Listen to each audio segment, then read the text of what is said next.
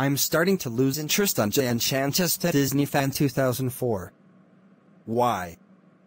Because he closed his account to avoid hate and criticism, and JuanShanchez Disney Fan 2004, if you're watching this, I'm so done with you until you come back on YouTube.